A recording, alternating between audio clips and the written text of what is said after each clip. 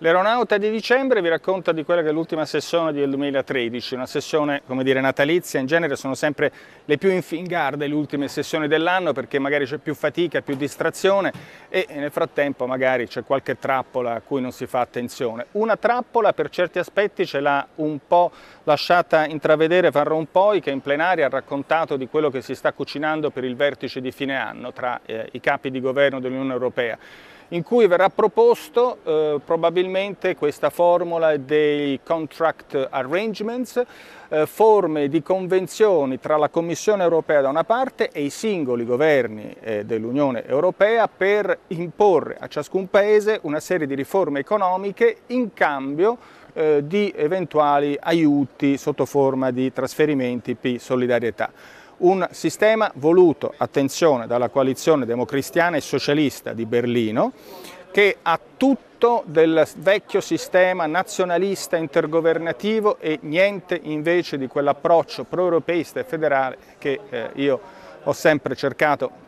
insieme un po' a tutto il gruppo dell'Alde di portare avanti al Parlamento europeo, perché non abbiamo bisogno di eh, singole politiche per specifici paesi che di fatto rafforzano i paesi con i governi più forti e rendono magari più deboli eh, gli altri, imposte dalla Commissione che sarebbero percepiti tanto dai governi quanto dall'opinione pubblica come delle vere e proprie ingerenze. Abbiamo bisogno di regole che siano comuni per tutti e che possano creare anche quegli strumenti con un governo europeo dell'economia almeno tra i 17 paesi della zona eh, euro che permettano un po' di crescita. E ritorniamo sulle vecchie proposte, gli eurobond che potrebbero permettere un finanziamento del debito quattro volte meno caro rispetto agli interessi che un paese come l'Italia paga, il fondo di redenzione per il debito eccessivo eccedente il 60%, la creazione di un bilancio della zona euro magari che potrebbe finanziare una eh, assicurazione sulla disoccupazione universale per i paesi della zona euro, eh, come è stato proposto anche da un gruppo di eh, esperti tedeschi transpartitici, una proposta che è stata anche rilanciata poi in Francia e in Gran Bretagna, in Italia mi sembra che invece al solito non ne ha parlato nessuno. Altro tema è la questione del commercio internazionale, dopo il successo dell'accordo di Bali dell'Organizzazione Mondiale del Commercio, eh, io sono intervenuto in plenaria sulla questione del cosiddetto GSP+, vale a dire agevolazioni eh, doganali per i paesi più poveri, c'è un problema che riguarda il Pakistan, un produttore tessile che fa concorrenza diretta anche ai nostri produttori, ma che in effetti si qualifica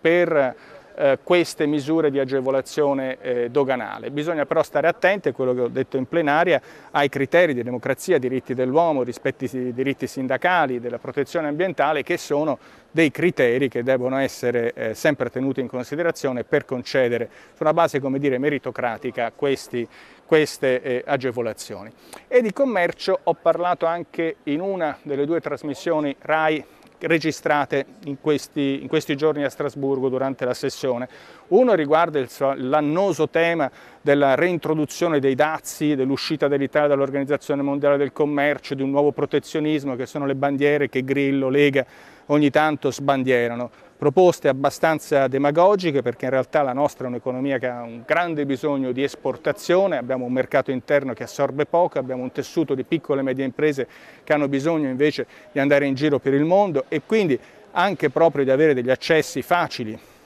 nei mercati di, di, altri, eh, di altri, paesi. Quindi quando sentite queste cose, guardate, eh, sono temi che possono anche avere un certo interesse, ma francamente pensare di ritornare a un protezionismo ci porta veramente a perdere tempo eh, e basta.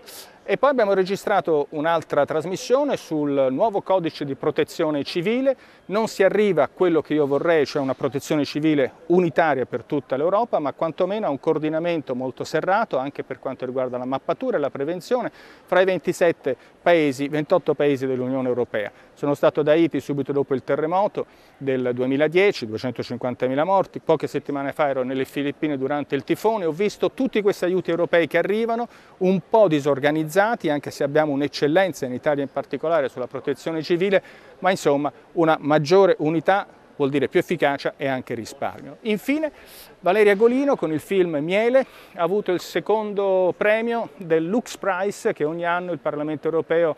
eh, concede alla cinematografia impegnata sui temi sociali. Miele è un bellissimo film, ve lo consiglio, un film molto duro che riguarda un tema difficile come l'eutanasia. È un tabù eh, nella politica in gran parte, in molti paesi d'Europa, mi posso dire, vantare di aver organizzato con Luca Coscioni e Mina Welby eh, l'unico evento di questi anni al Parlamento europeo sull'eutanasia, tema doloroso, però è un tema vero. A Bruxelles tanti italiani arrivano ogni tanto per cercare la dolce morte eh, assistita e io credo che anche in questo periodo che appunto si avvicina al Natale, su certe questioni non dobbiamo chiudere gli occhi. Buon Natale e auguri.